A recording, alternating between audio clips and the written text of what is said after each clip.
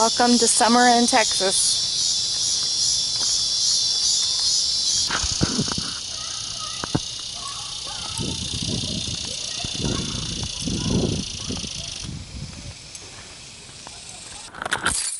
Okay, so um, I was on my way to Alabama and I had to take a detour because my...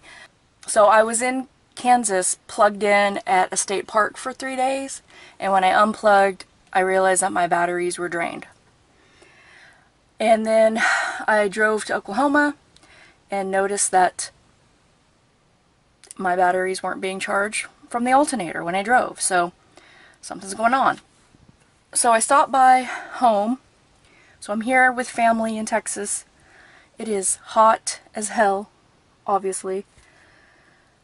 But we've been trying to diagnose it. We checked the solenoid relay that's connected to the isolator, the multi the multi-battery isolator box under the hood. We checked the volts coming out and going in.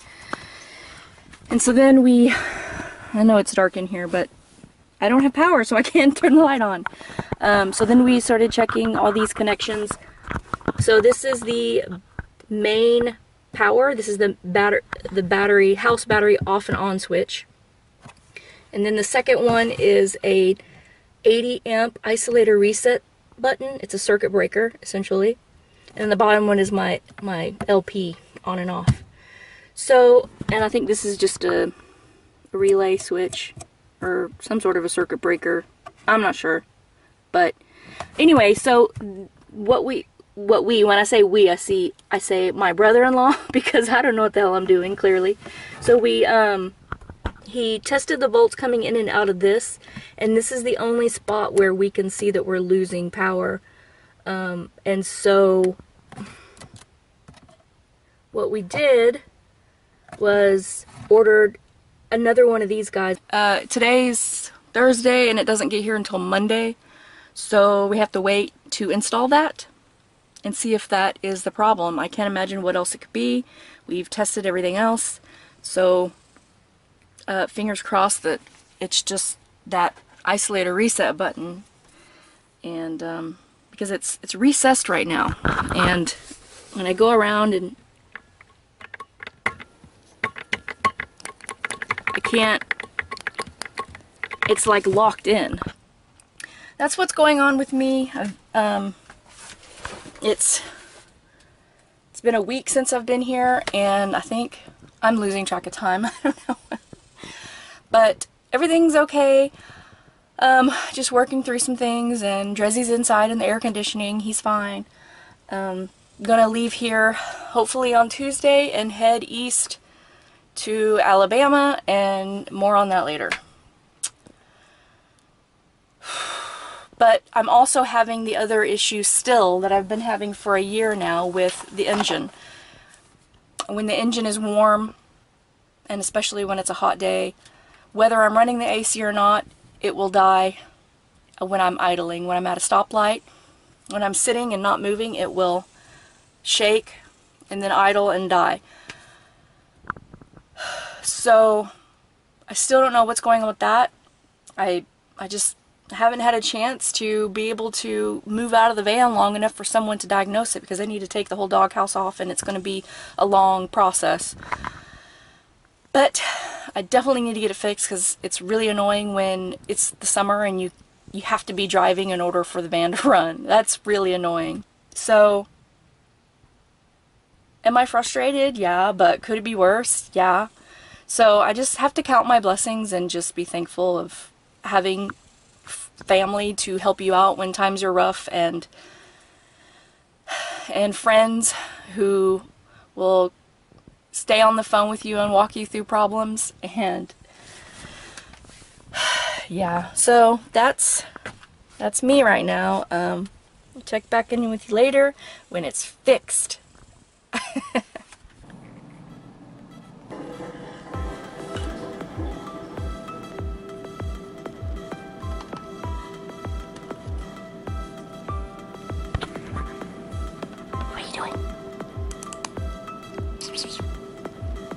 at his belly. Look at his belly. Oh my god, nice. Is it a heart? No, not quite.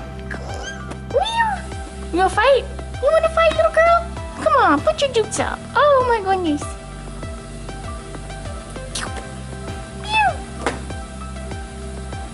I got your foot. What are you gonna do? You get your foot. Oh, I got both of them. Oh shit. Ooh, she's feisty. Oh boy. Don't fall.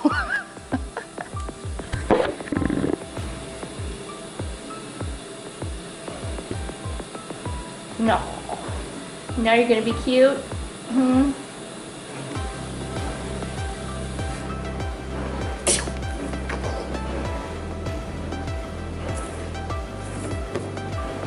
Hi, baby. What you doing?